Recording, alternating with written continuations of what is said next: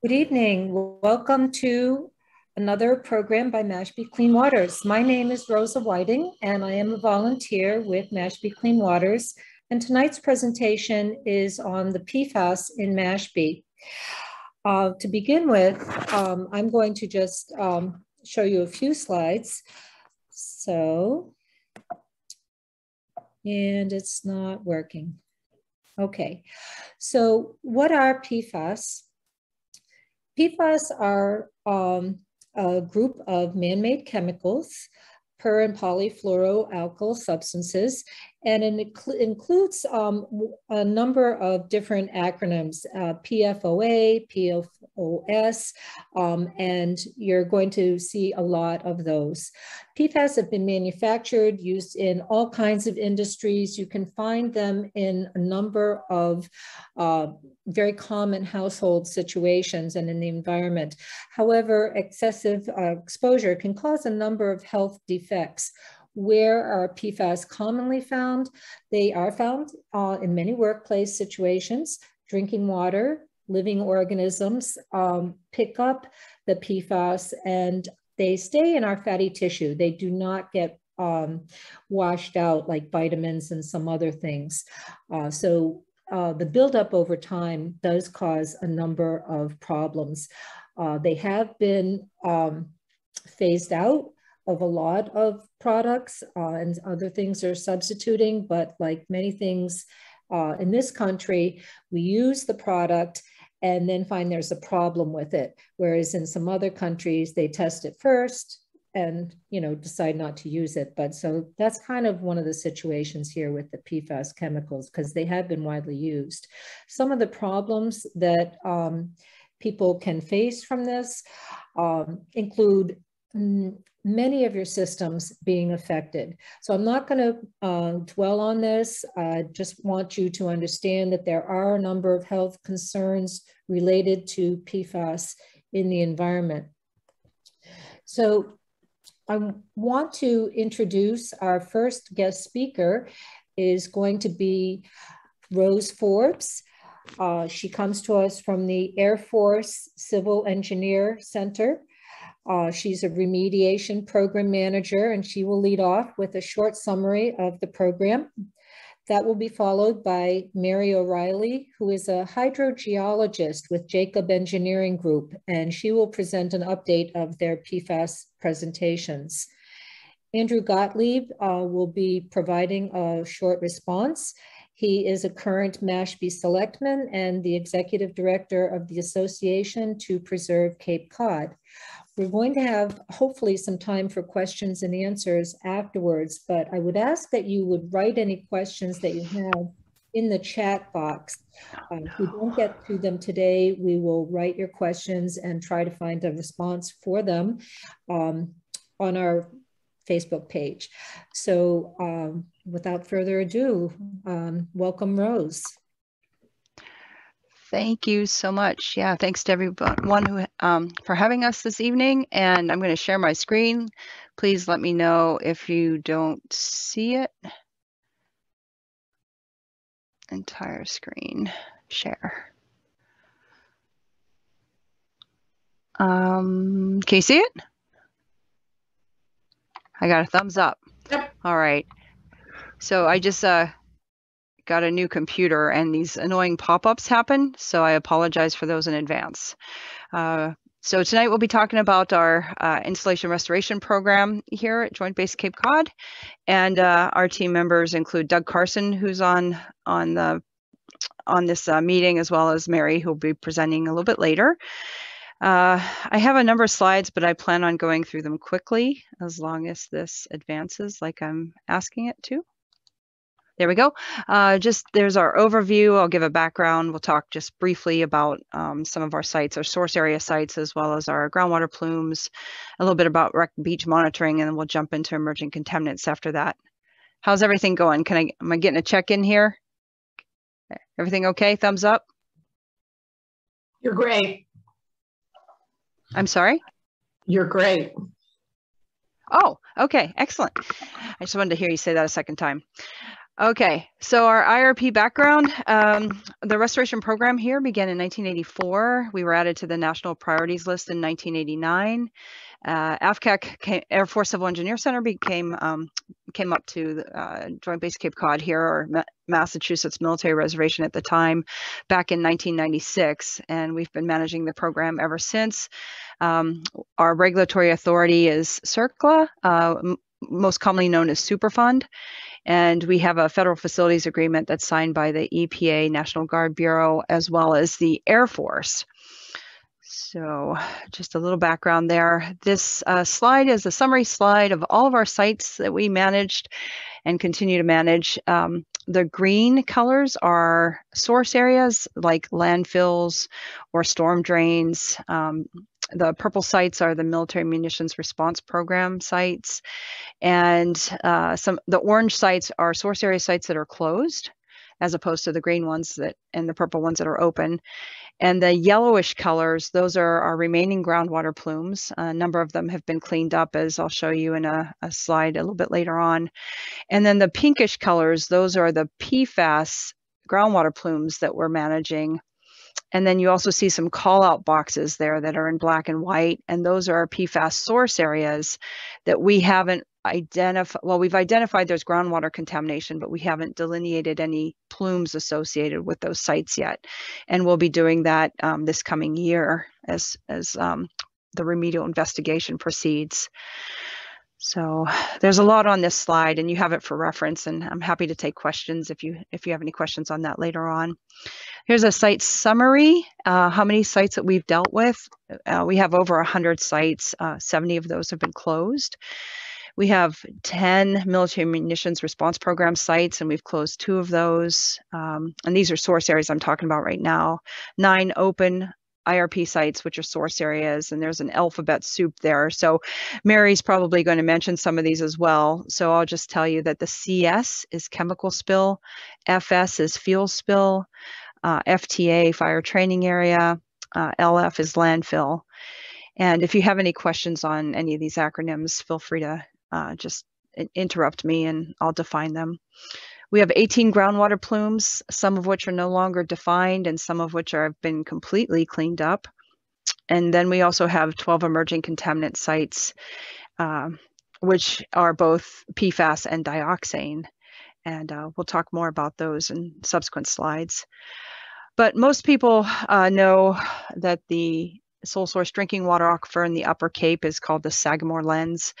Um, it extends from Cape Cod Bay to Nantucket Sound out to Bass River into the Cape Cod Canal, and it's a very prolific aquifer. Anywhere you drill, you'll find water. Um, but what some people might not know is that the the mound of the Sagamore Lens is actually under the main part of or the sort of the north central part of the base on on the east side in Sandwich, and it gives the plumes char- the characteristic uh, flow path. That is that any contamination that originates um, near that that mound or anywhere beyond there, it will take on the uh, the radial flow pattern.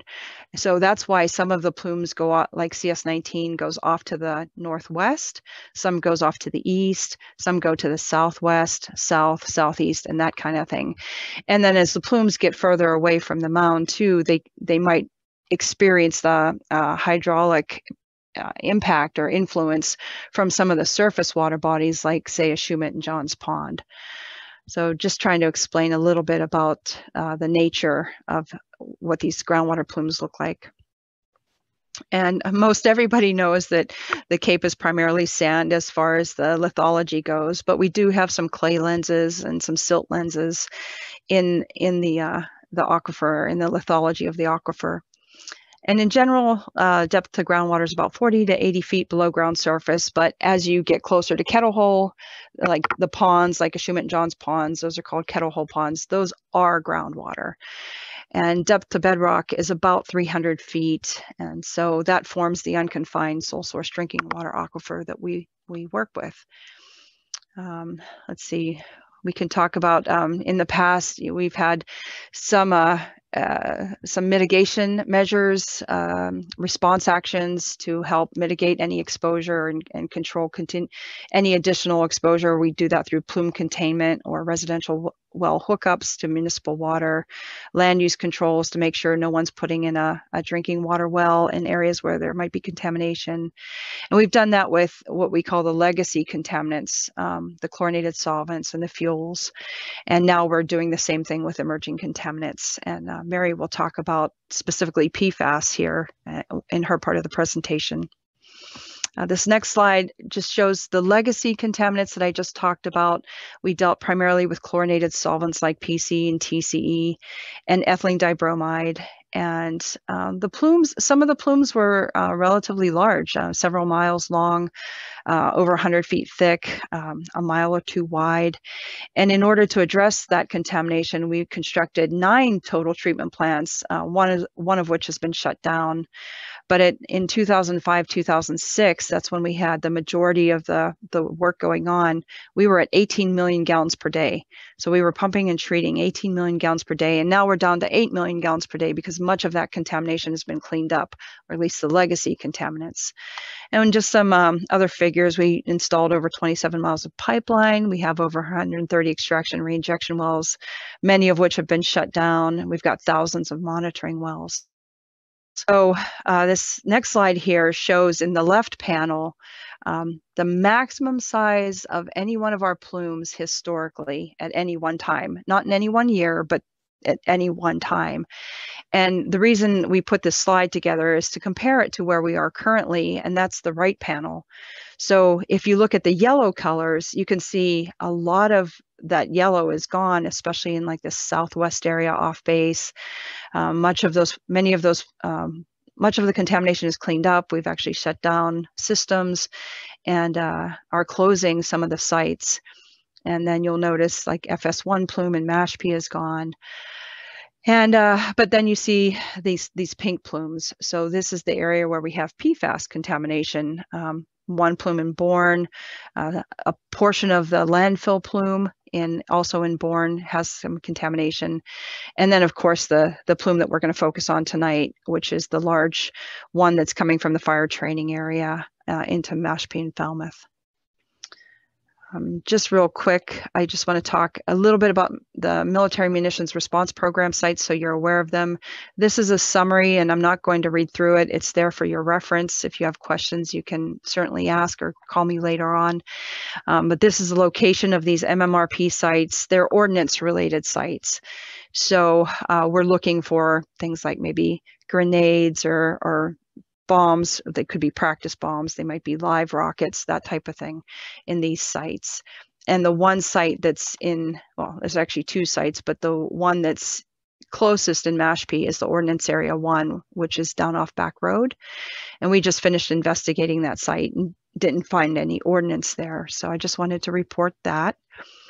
Uh, some of the other plumes in Mashpee include FS1, which is a ethylene dibromide plume. I mentioned that a little bit ago, but I have a slide that shows how that plume has cleaned up over time, starting in 2001, moving to 2012, 2018. By 2019, it was gone. And we just prepared the remedial action closure report for this site and submitted that to the regulators for review.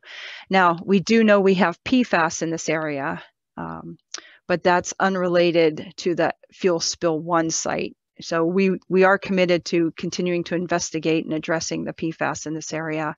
Mary will talk about that as well. A couple other plumes in Mashpee. Um, this one called Landfill 2 Fire Training Area 2, and uh, it's a fuel fuel type plume. And here's the where the it's located. It's kind of near Back Road. It reaches up onto the base. Um, and it's uh, it, we're basically monitoring this plume and it's not advancing any further. So we're estimating by about 2035 this plume will be cleaned up. And a similar plume is called the petroleum fuel storage area, also in Mashpee, same type of contaminants. And that plume is also near Back Road and extends over to the Orenda area. Um, and same kind of idea as the, the other plume I just talked about, the LF2 landfill 2 fire training area 2 plume. Uh, this petroleum fuel storage area plume is anticipated to clean up by 2035 as well. And it's not migrating any further. It's in a steady state as we refer to it. And the last plume I'm, well, there's two more plumes. So uh, this chemical spill 10 plume, it's primarily a chlorinated solvent plume that originated at UTES BOMARC on the base. And here's the cleanup progression. It's a very large plume. And even though the northern um, the UTES BOMARC area and the north part is considered to be the primary source area. There's a number of source areas on the base that contribute to this contamination. And we do have a pump and treat system that's cleaning it up. Um, but it it's it's a large plume, so it's not cleaning up as fast. And you can see it has in the past migrated off the base and then we put an extraction fence along the base boundary and that prevents it from continuing to migrate further. So that's the CS10 groundwater plume. And the last one is Ashumet Valley. And this plume originated from the same source area, the fire training area, as the PFAS contamination. Uh, historically, this has been a, a, a chlorinated solvent plume uh, with perchloroethene and trichloroethene in it.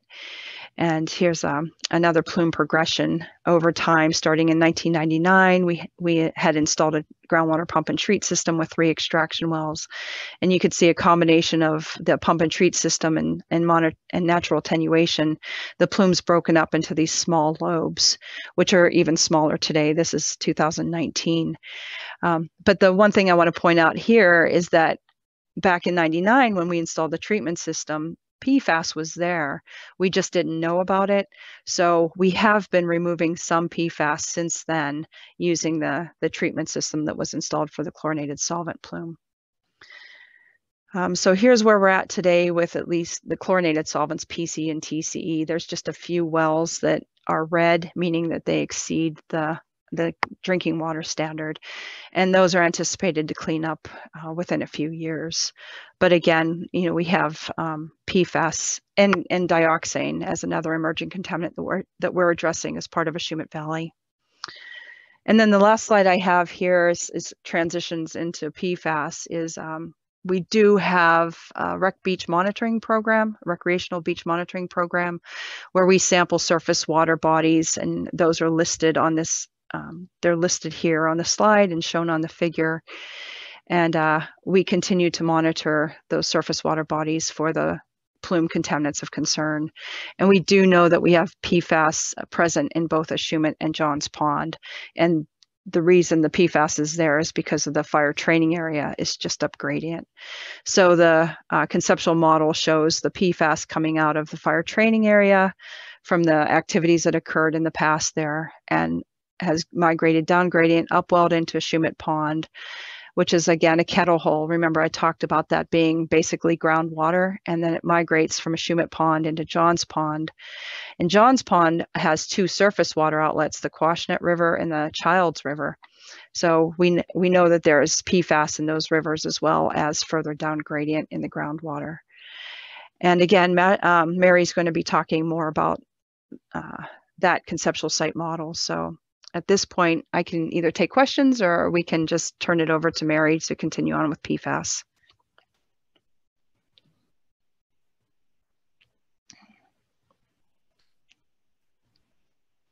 Rosa, you're on mute. Okay, um, there was a question on the chat. Um, on one of the first map slides, uh, there was a question, um, what do you mean when you refer to a site as open versus closed? Sure. So uh, an open site means it's active and we're uh, still either monitoring it or we might be working on a closure document. But a closed site means that um, we've gone through the CERCLA process and we completed the uh, appropriate investigation or removal and we prepared the appropriate uh, documentation to officially close out the site as far as the CERCLA process goes. So the site's closed, we're not doing anything further with it, it's cleaned up and we're done. Thank you. Uh, I'm not sure that people uh, have a clear understanding of what the health effects are from the uh, perchloroethate and trichloroethate and the dioxane, but uh, just briefly, there are a number of health related effects, particularly as they are carcinogenic uh, and have other systemic effects. So it's uh, wonderful so far to see all the progress that you are making. So um, are there any other, if there are no other questions, we would love to welcome Mary.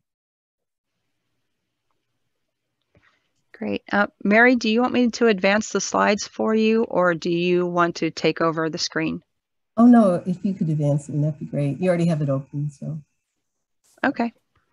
Okay. Just let me know when you're ready. Sure. You guys can all hear me okay then? Yes. Okay. Awesome. Yes. Okay, so Is I'm just it possible at all for you to put it on slideshow so that the screen would be bigger for the slides? Otherwise, this Is is. that better? Mm, That's the slideshow feature I have.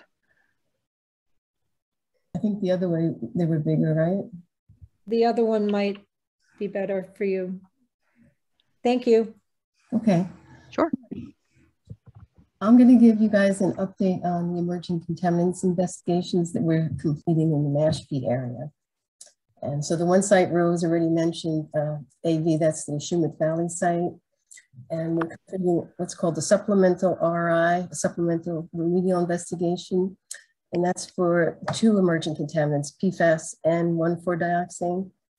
And uh, Rosa gave a good overview of PFAS and just quickly, 1,4-dioxane, uh, the primary industrial use was to stabilize chlorinated solvents. And as Rose went over these um, plumes, a lot of them were chlorinated solvents. So we also are looking for 1,4-dioxane there. And 1,4-dioxane is also used in a lot of you know, household products, cleaners, detergents, cosmetics, paints, all that kind of stuff too. So and PFAS, um, our primary, our source of PFAS on the base is uh, aqueous film forming foam. It's called AFFF, and it's uh, firefighting foam that the Air Force used um, in fire in fire training exercises and to suppress any vehicle fires or aircraft fires and other fire suppression systems since 1970. Um, so, uh, and this one uh, for AV, it's called the supplemental RI because we did the original RI was for the chlorinated solvents. And um, we're also investigating flightline area sites. And what we're doing there is called an expanded site inspection. And that's at seven different sites. And these sites that are listed below, they um, have used AFFF, either um, they were used for storage and there was accidental releases, or it was used for training, or uh, also as an emergency response. And I'll go into more detail each of the sites a little later. But I also just wanted to explain, um, you know, Rose said that we follow the uh, CERCLA process, the Superfund process. And uh, so the first phase of that is called the preliminary assessment. And in that one, uh, you basically do interviews and record search. And in this case, it was to see if AFFF was ever used at a site. And then um, the next phase, you'll look at those sites where it was used to see if it was ever released into the environment. And, um, and that's the site inspection phase. Um, so we have confirmed it was released into the environment at these sites. And uh, the RI, um, or supplemental RI for Ashumet Valley, that's where you actually define the nature and extent and evaluate site risks. And then after that, you do a feasibility study to look at different alternatives for treatment. And then once you decide, uh, you know, what you're gonna do um, for remediation, you do the proposed plan and then, um, you know, a record of decision that documents what, um, you're, what you're gonna do. And there is public involvement when you get to the um, proposed plan phase. Okay, I think I covered everything on this. Can you go to the next slide, please, Rose? Yeah, I just want to say that there's opportunity for public involvement. I mean, that's the formal public involvement, but you know, we do presentations like this all the time. We have uh, Joint Base Cape Cod cleanup team meetings as well. So, you know, we welcome input at any time, um, and we try to offer more opportunities for public involvement in addition to the CERCLA prescribed timeframes. Okay, go ahead, Mary. Thanks. Okay, sure, yeah. So um, as you guys probably know, these PFAS standards have been um, changing over time since we started the program. So in May 2016, that's when the EPA issued the final health advisory values, and that was just for PFOS and PFOA. Uh, so for each of them or combined, if you have both at the meta site, and that's uh, 0.07 micrograms per liter. And then uh, the state has issued various um, standards. Um, in June 2018, it was um, an Office of Research and Standards guideline number that was also 0.07, but it was for five combined PFAS compounds. So instead of just adding PFOS and PFOA, you also add PFNA, uh, there's a hexane and a heptane, or the other ones. And then um, in April of 2019, they added a sixth compound called PFDA, and they lowered the standard to 0.02 micrograms per liter. And then in October of 2020, um, that same standard was issued as a Massachusetts maximum contaminant uh, level of 0.02. And then um, another PFAS compound, PFBS, um, in May of 2021, the EPA released updated toxicity information for that, which uh, lowered their RSLs from 40 micrograms per liter to 0.602 micrograms per liter for groundwater, and from 130,000 micrograms per kilogram to 1900 micrograms per kilogram. And you can see that PFBS, the toxicity is um, much lower than it is for, say, PFOS and PFOA, which have um, lower standards. Okay, uh, next slide, please. Okay, so uh, response action. So as we would do the investigation, um, we would do outreach to see if there were any potential private wells in the area or, you know, public wells we knew of, of course, but, um, and then we would uh, sample the wells uh, to see if they were impacted. And so we sampled 122 private wells to date, and there's currently three wells that have PFOS and PFOA concentrations uh, that are greater than the EPA LHA. Um, we sampled eight public water supply wells. Uh, two of the wells had PFOS, PFOA greater than the LHA. One uh, well that was shut down, the Mashpee Village well, uh, that uh, wellhead treatment was added by AFCEC, so that well is now operating again. And another well was removed from service, and uh, those customers were connected to municipal water, again by AFCEC.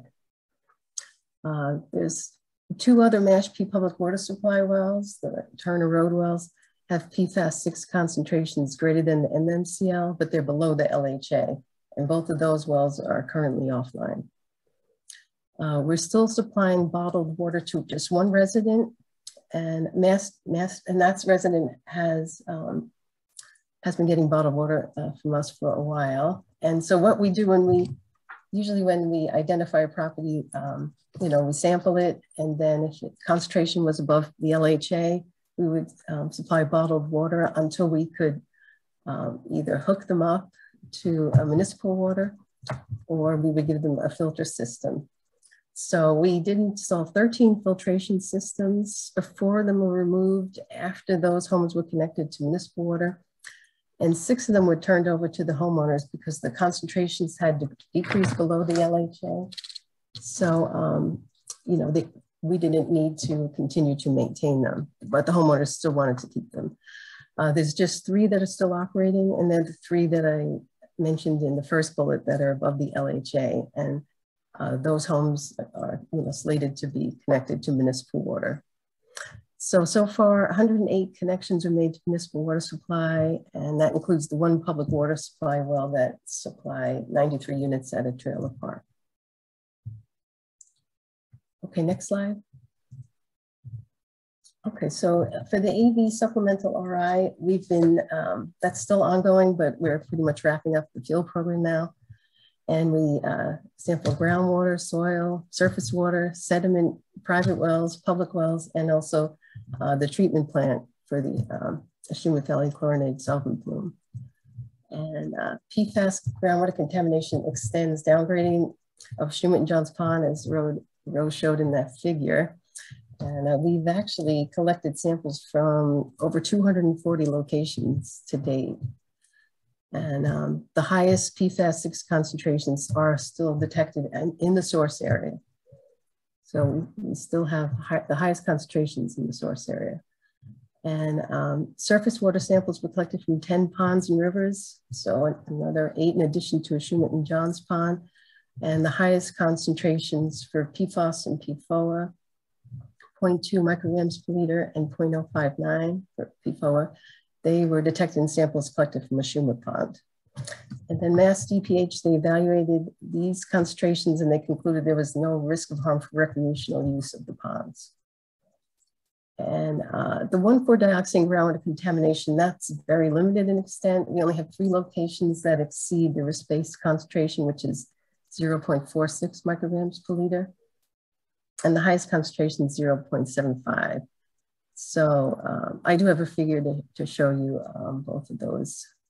Yeah, so this one shows the distribution of PFAS and these are what we call HITS maps. So the red symbols indicate that there's an exceedance of the PFAS-6. Um, green is non-detect and yellow is um, uh, detection, but that's below the PFAS-6 concentration. And so you can see the source area, Rose had pointed that out, is uh, the fire training area and also the former uh, sewage treatment plant on the base, uh, where the two source areas were Ashumet Valley plume. And, but the fire training area is the primary source for this PFAS uh, contamination. So we are gonna, when we're doing the RI report, we're gonna call the site fire training area because that is really more accurate. So you can see um, we have a kind of a dashed red line defining the, the current plume boundary. We're still doing some investigation, uh, down gradient, just to confirm the leading edge of PFAS 6 plume.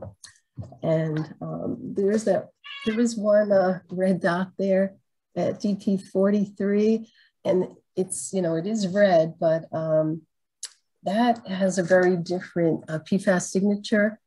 Like all of the uh, these fire train these uh, these sites that have used AFFF, PFOS is the predominant um, uh, PFAS that we see, and that site had a had a different signature, and it also was right at the water table. It's pretty far down gradient to have uh, detection right at the water table, have it be associated with contamination from the ponds. And actually groundwater in that area at that shallow would flow from northeast to um, southwest. So um, the state is actually uh, sampling uh, some private wells that are in that area. And uh, we're doing some additional investigation just to help uh, with defining uh, the source out there. And the other thing is, you know, as Rose shows, the, um, the AV plume is on there and um, you know, you can see how it has reduced over time. And, um, you know, as Rose explained, the conceptual site model, the contamination uh, discharged into the pond and it's not volatile, PFAS are not volatile. And uh, so, yeah, it, the ponds recharge the groundwater and that's how this contamination spread out so far in uh, Mashpee and also Falmouth um, because the ponds basically became source areas for groundwater contamination. And um, I think that's it for this site. Oh, I just want to show, um, Rose has, there's a figure up in the corner that um, shows the fire training area. There was also a, um, a thermal treatment unit uh, that to treat the, the VOC contamination in the soil. And um, it didn't reach temperatures high enough to treat PFAS. Of course, we didn't know PFAS was in the soil then. That was back in the mid to late 90s. And um, that treatment unit caught on fire and they used foam to put it out. So that's, again, yet another source in the fire training area of um, another source of the PFAS contamination. Uh, next slide, please.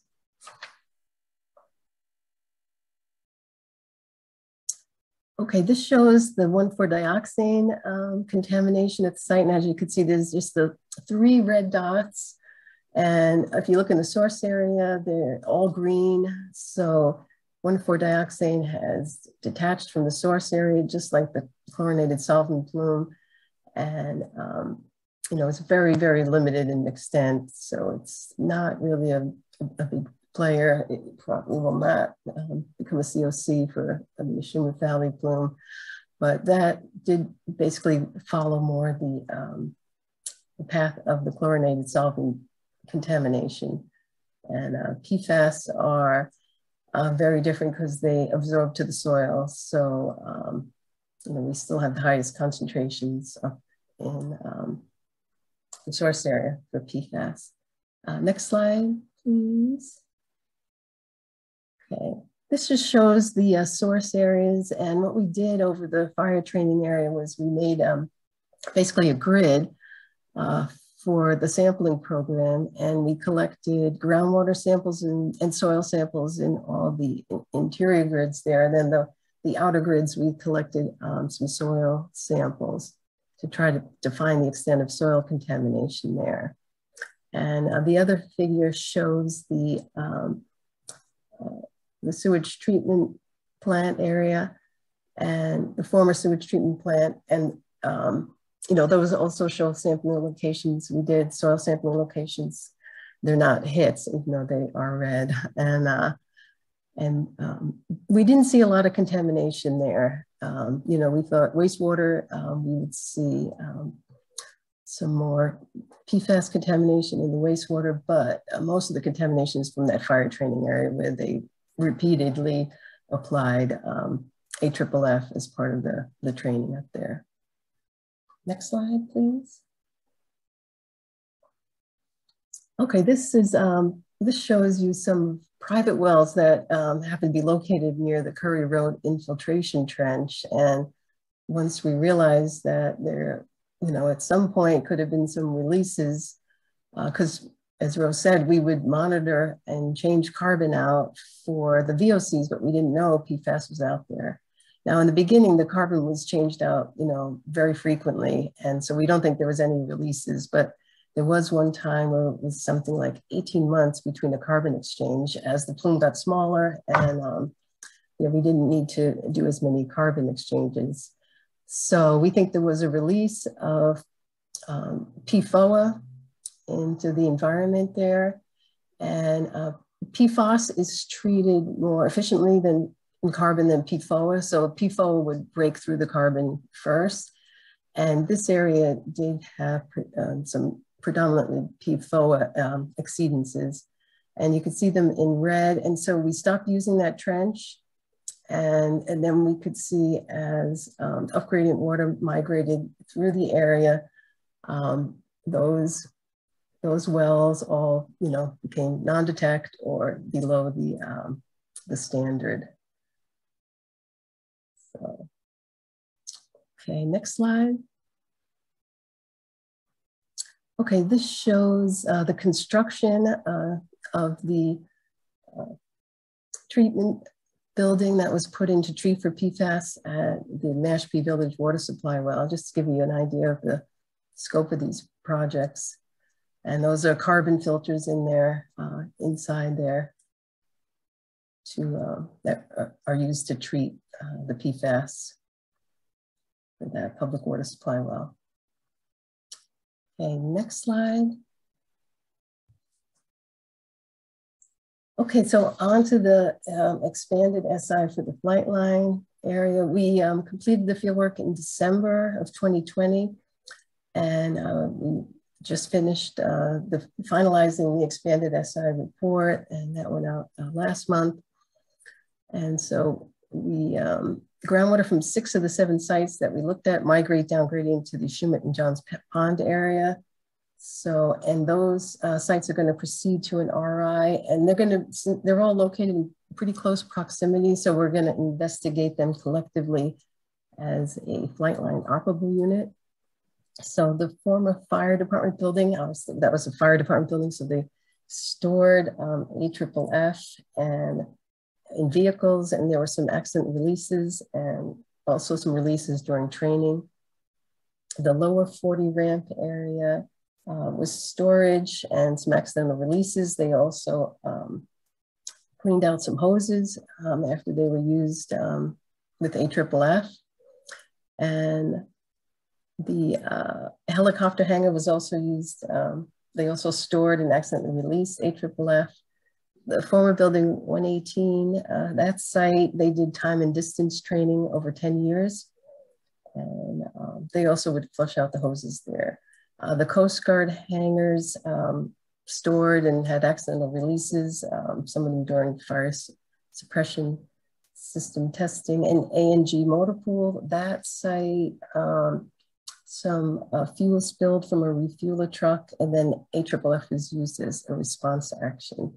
Uh, next slide, please. Okay, so this just shows you the locations of the sites. I'm just gonna wrap up quickly here. So um, each of the sites are identified and then there's particle tracks that show their discharge point. Um, so from the source area, uh, where groundwater would migrate to and uh, discharge. You can see most of them discharge to the down gradient ponds, uh, Ashumet Pond and uh, Moody Pond.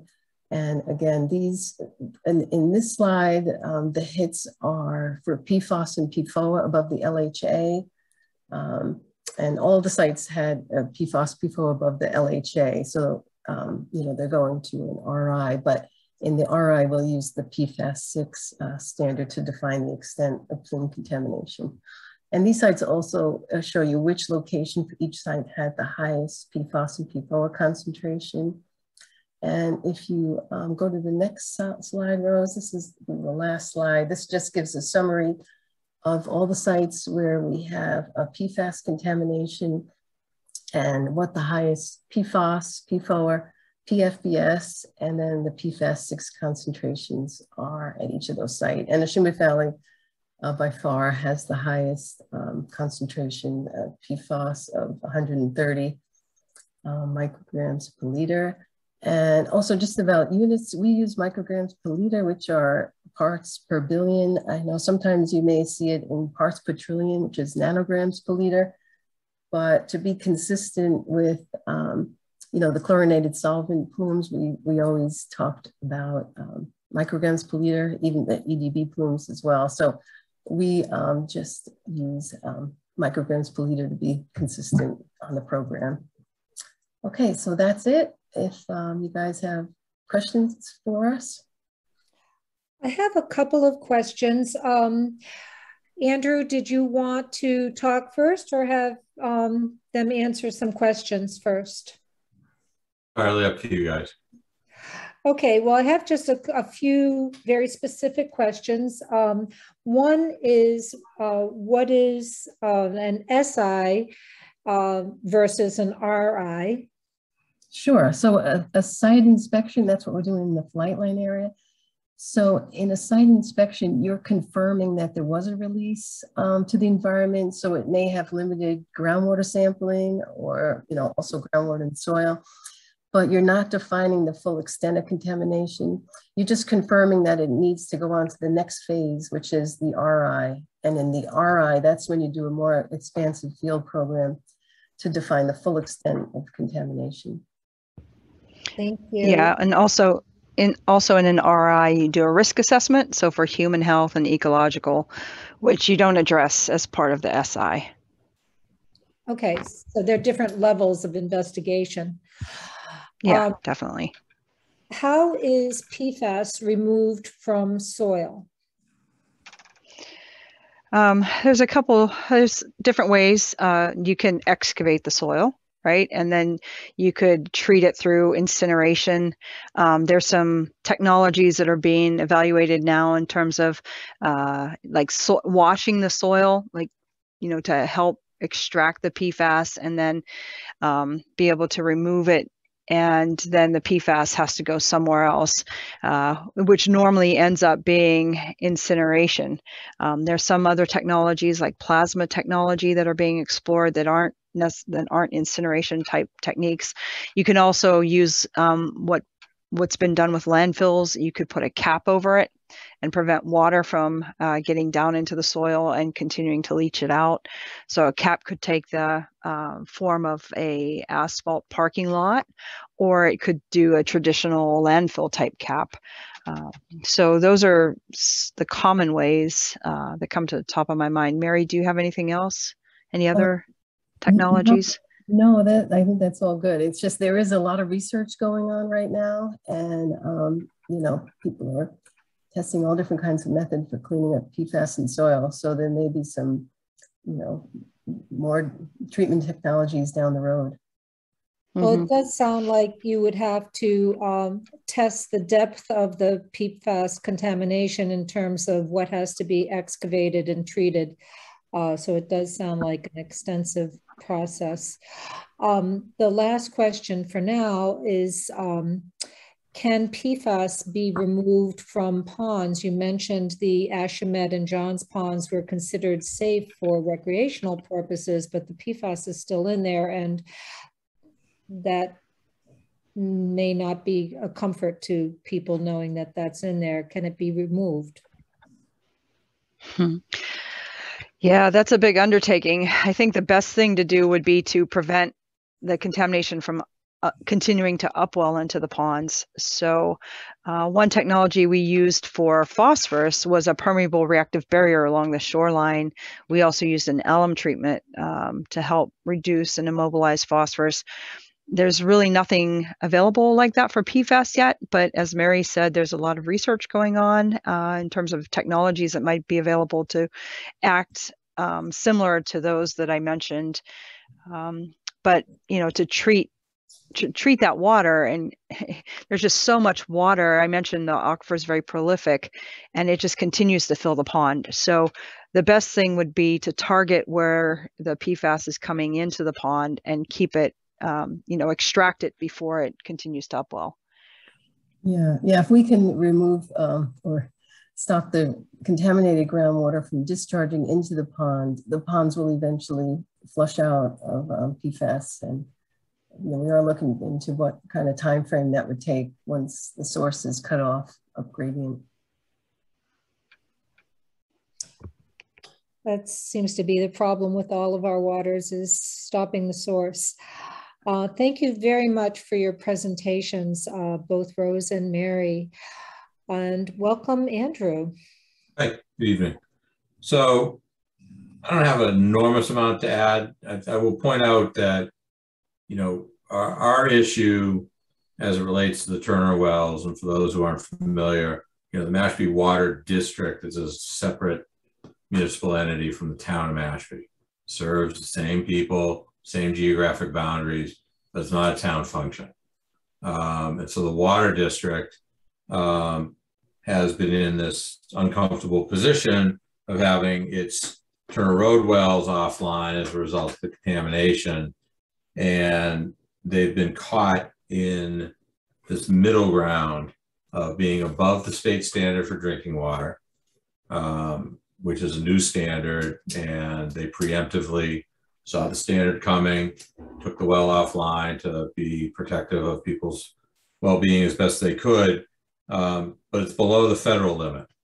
And you know, for those that, that watched, we had a spirited conversation um, with representatives from the uh, military base several weeks ago at a selectmen's meeting. At the time, position of the Air Force, uh, which has subsequently changed, was that because it was below the federal limits but above the state limits, that uh, the feds were not compelled to um, remediate, and that the remediation was going to be at the expense of the water district. Uh, that position has subsequently, in the last, I don't know, what, two weeks, changed. Um, so for in the short term, people in Mashpee, that's a good outcome um, under the circumstances, so that the uh, costs and, and, installation of that facility will not be at Mashpee Water District taxpayer expense, be covered by the Air Force. Um, and so that's a relief to us. But it points out you know, a recurring thematic problem where, you know, we live in a state where there's a little bit more uh, aggressiveness with setting health standards for drinking water and cleanup standards in contaminated sites that oftentimes, as in this instance, get ahead of, in a good way, in my opinion, the uh, federal standards that apply. And um, the circumstance that we found ourselves in uh, with the PFAS compounds um, is a circumstance we've been in in the past, uh, I believe, with the with the base, uh, where there's been an exceedance of Massachusetts standards, but not one of the federal standards.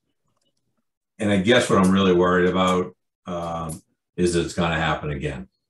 Um, and the reason I say that is there's a list of unregulated contaminants uh, longer than your arm that for which there are not federal standards yet that have been released into the environment, potentially at the base, potentially in other locations um, from a wide variety of uses.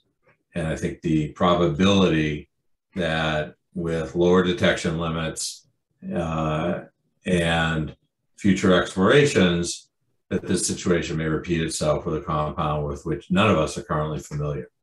Um, and so, and I say that because that's what's been happening. Um, you know, when all this exploration was done, you know, the early, late uh, 1980s, 90s, and in the early 2000s, nobody was talking about PFAS compounds. Um, or if we were talking about them, the levels of detection were not uh, able, sensitivity of the uh, lab methods were not able to pick them up at the rate that and the levels we're seeing now and the rate and the levels at which they're being regulated. And it's been collectively our experience that um, detection limits get better. Uh, and as they do, we find more things in our water, not just associated with the base, but with just general overall human activity. And public health standards are becoming more and more stringent. Um, and so it's every reason to believe that um, this scenario will recur with a different alphabet soup of compounds over which you know we're going to be concerned. And so um, while people should walk away from this feeling better that uh, the Air Force is stepping in and doing the right thing by the people of Mashpee, uh, we need to continue to pay attention to groundwater explorations, the designation of future compounds, uh, the health limits associated with them, and remain ever vigilant that um, when there is a release from whatever source, military, non-military, um, that the district is able to provide um, a quality of water that meets the health needs of its customers. So um, this is, I think, a, a case that provides a real life education to the people that are here now. Um, that some of us who've been around this plume and these plume sets for a while have learned and have been reminded of, sadly, uh, and be prepared for the next set because I think there's more coming. So on that happy note, I'll stop.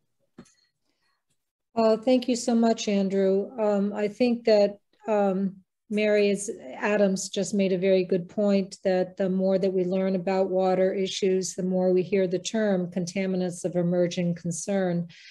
And um, I guess we just need to stay vigilant and stay tuned. Yeah, the thing that the other thing to think about on these roads is that uh, Rosa is that you know we regulate these compounds one at a time for their known or suspected health effects. We don't know a heck of a lot about um, the synergistic effects of these compounds in combination over time um, and the combined health effects. So it's not just the list of CECs, it's also understanding uh, and being aware of the additive impact of these different contaminants and how they work in concert with one another uh, to create potential health effects down the road.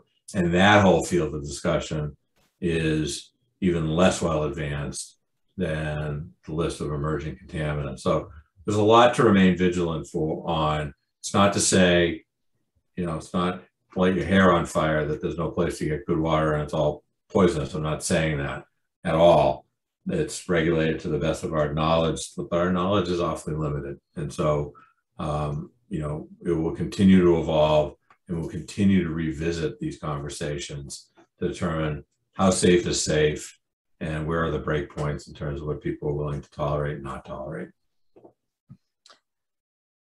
Oh, so so much to think about. Um, in public health, we call that um, synergy, chemical synergy. Uh, that's not an additive effect; it's a multiplicative effect when you combine those chemicals together in terms of the health risks that they create. Uh, so um, as the uh, technology improves for being able to detect um, these chemicals, I guess our filtration systems are going to get better. Um, Douglas Karson did add a note to the chat that there's a correction to his email address that's up on the screen. So if you're interested in uh, contacting Doug, please look at the chat now to correct that. And if sorry about that, Doug.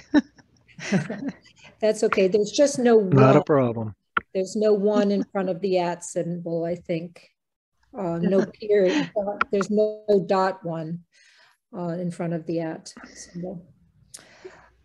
Um, but thank you all so much for participating this evening, and I hope that um, you will continue to be part of the conversation. Thank you. Thanks for having us.